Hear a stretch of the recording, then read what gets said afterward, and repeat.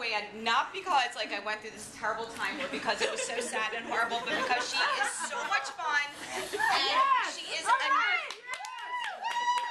and like a new friend and like new I you don't meet good friends later in life. Like when your kids are past preschool age and, and whatever, you don't get a window to make a truly great friend. And I have a truly great friend from a long time ago named Fred Ehrlich who introduced me to Joanne, and I am so lucky because she was the gift with purchase like that I got.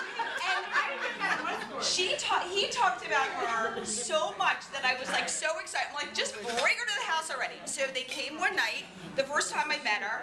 They drove up. They had the best time. And Annie, who, by the way, uh, I have twins, and they just finished 11th grade today.